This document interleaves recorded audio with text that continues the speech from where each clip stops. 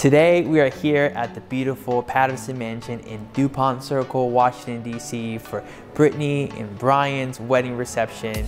And tonight we're gonna celebrate a love story that's been 14 years in the making.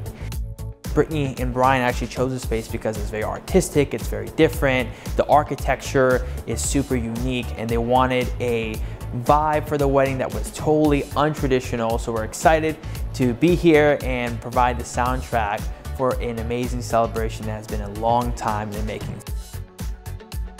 At this time, I'd like to ask you guys to please help me introduce your newlyweds, nice and loud, walking in. Let's give it up for Mr. and Mrs. Newbie.